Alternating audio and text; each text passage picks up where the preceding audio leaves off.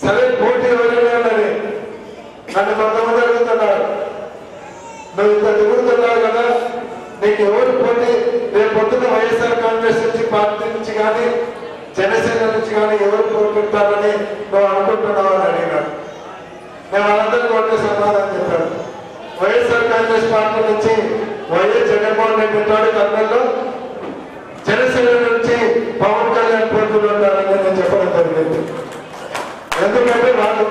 పార్టీకి పోటీకి నిలవన్నా సరే వాళ్ళ మీద గెలిచేటట్లు మా కార్యకర్తలు కష్టపడతారు.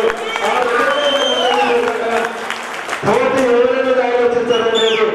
కర్నూలు పట్టణంలో ఎవరు పోటీ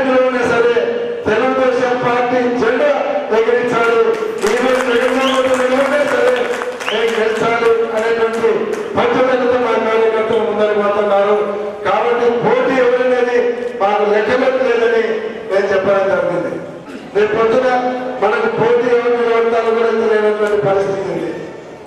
ఆఫీస్గా నిలబడతాడా? లేకుంటే మాజీ ఐజీ నిలబడతాడా?